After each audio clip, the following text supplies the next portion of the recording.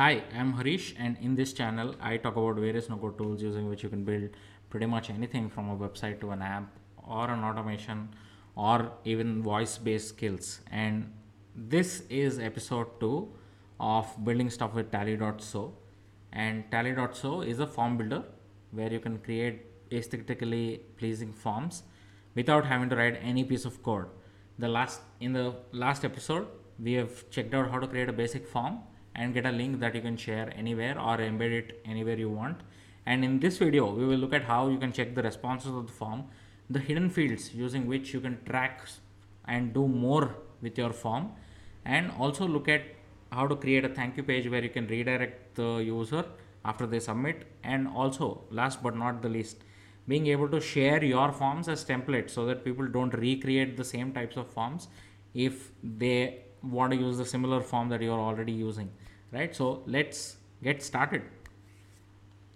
So the last time we left off here in this page and if you see there is a responses tab. Here is where you can see the responses of people submitting your form. So let's just quickly open our form first and submit it and see how the responses appear.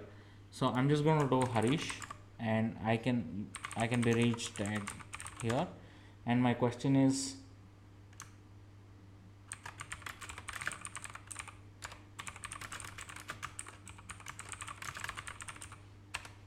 with that do subscribe guys. So i'm just going to go and that's it. The form is submitted. And now let's go back to our page and go back to responses. As you can see without even doing anything the response is right here right? And you can download the csv file of this response import it to google sheets or airtable wherever you want. That's pretty much how you can handle responses. Now quickly go back to the form and see how we can add hidden fields right? So if you click on plus you will see hidden fields option. As you can see I, I was already testing it. So you can see there is one hidden field already here right? Now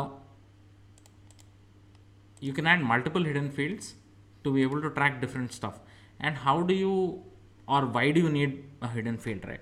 Hidden field can be used to track data. Let's say for an example you have a referral link. You are asking your customers to refer others. Now how do you track who's sending who right? That is one way. And then there are utm parameters using which you can track the traffic or where the traffic is coming from to your form right? There are five utm parameters. Probably in another video i'll talk about them. But these are standard and uh, they can be used to track different ads that you're running or different social media posts that you're doing or different links that you have on different websites from where you are trying to get customers right? So once you insert a hidden field it will just appear right here right? So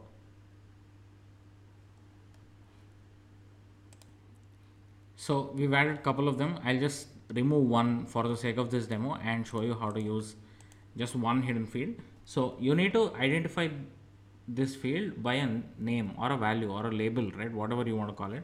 I'm just going to do referral and the example being you want to track referral links right? As simple as that. Now this is obviously hidden field so we'll just do publish. And now once i click on share you will obviously get the same link for you to share right? Now how are we really tracking hidden fields? For that you should add the name of the field that you just entered in the field to the url and how do you do that? It's very simple. Here after this okay i can't type there. So i'm just going to use the browser here. So uh, the url is here. Then you have to enter question mark. And then ref is equal to tracking demo. That's it. You have to enter the name of the field that you've added.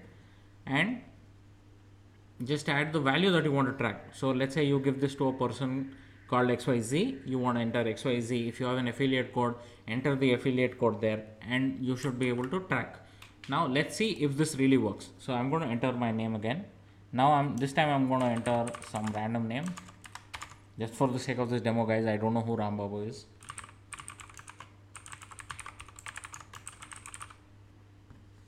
Right? I click on go and it should submit. Now we should see if tracking hyphen demo gets stored in the responses tab. So I'm going to go back here, go to responses tab.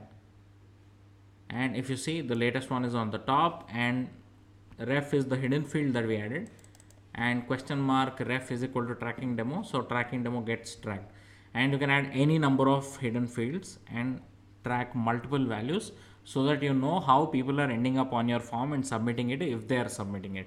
Very helpful for tracking guys. So make sure you take the best use of uh, hidden fields.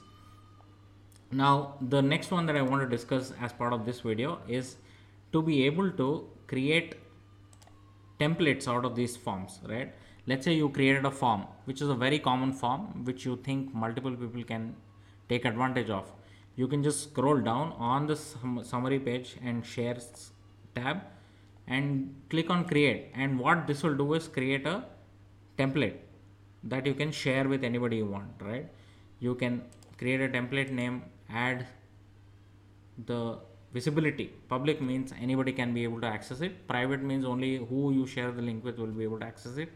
And then the category of this form right? What category of this does this form fall into the preview screenshot. This can be the screenshot of the form itself and description as to what this form is about.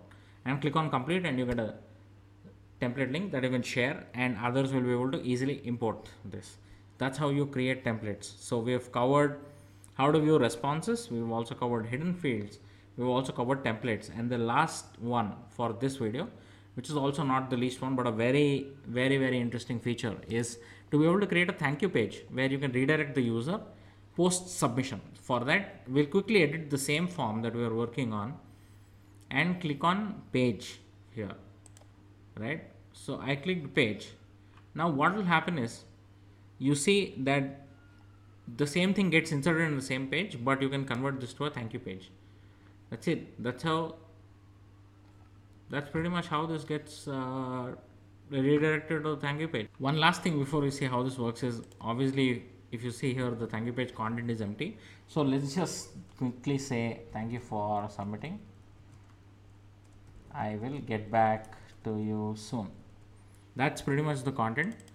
You can also modify this by selecting it and making it bold.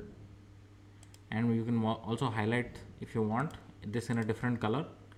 And if you want to convert this into a heading you can also quickly click on plus and enter insert a heading itself right? Instead of this being a smaller text. That's it. Now we don't need this. That's it. That's how you create a thank you page. Now let's publish this again and see it in action. Also if you've noticed you can also see the responses from here after you publish a form. So i'm going to quickly do share and open the form again. Now we, can probably open it here itself so I'm just going to refresh this and that should load the form back up again. Cool. Now I'm going to submit this again. Now I'm going to enter another name. Again I don't know who Kishore is or I don't have any friends with the same name. So just for an example guys.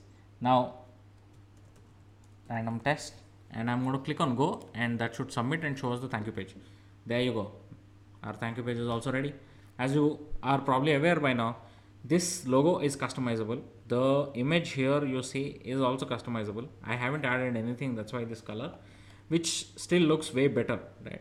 And this is our thank you page. That's how you send people to thank you page.